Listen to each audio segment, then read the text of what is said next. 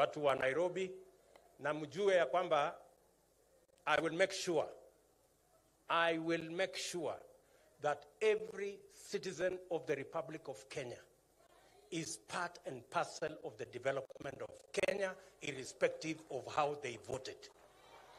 Hiyo mimi nitafanya kwa sababu hakuna rais mwingine wa Kenya, ni mimi, si ndivyo?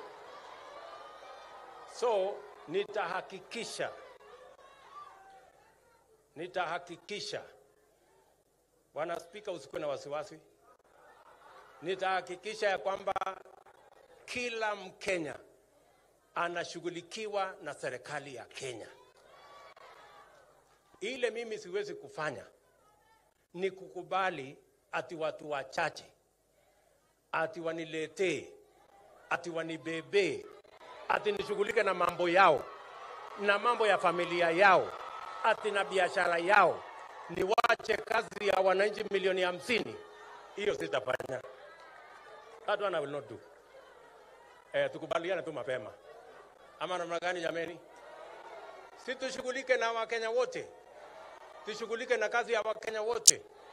Sasa mi nataka niwaulize watu wa Kanairo, sasa nyinyi wangwana, watoto wenu mumewapeleka bunge kule Arusha, mumewapeleka wengine ng'ambo, alafu watoto hawa wa Kenya ati mnawapeleka Kamkunji ati na Chagaranda ati waende watuga, wapigane mawe. Ah, bwana, kwani mnatuona tuko wafala kiasi gani? Yaani mnachukulia Wakenya wako wafala kiasi gani?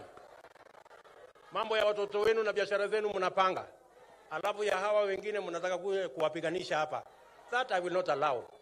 We want the children of every Kenyan, mtoto wa kila Mkenya apate nafasi sawa na Mkenya mwingine.